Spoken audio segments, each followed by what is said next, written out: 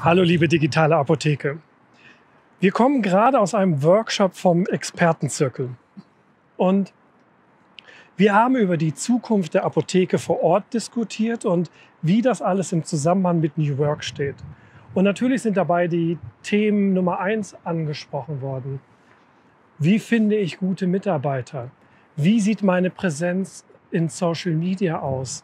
Was sind die richtigen App-Plattformen? Alles spannende Aspekte.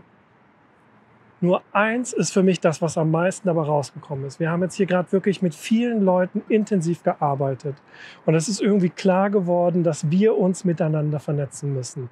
Wir Apotheker sind verantwortlich für unsere Geschicke der Zukunft. Darum möchte ich euch noch einmal einladen. Guckt euch an, was wir mit laboration.de vorhaben.